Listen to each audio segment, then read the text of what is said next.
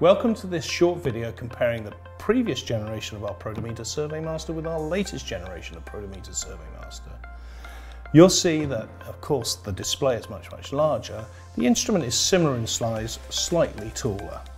If we look on the back here, we've changed our battery covers from a screw-in battery cover to a clip-in battery cover, and we've changed from a 9 volt battery to two AA's. And these two AA's actually give three times the battery life.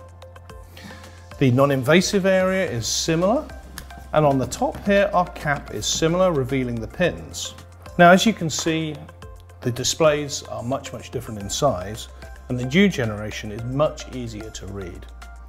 This also enables you to take photos of that display that are clear, and uh, that's the practice that a lot of people undertake. Of course, the new instrument has a Bluetooth, and this enables you to record readings and push to our mobile phone app. The instrument also has built-in calibration check. So with the previous generation, you would put the calibration check over the pins and take a reading. And with the new generation, this is done internally.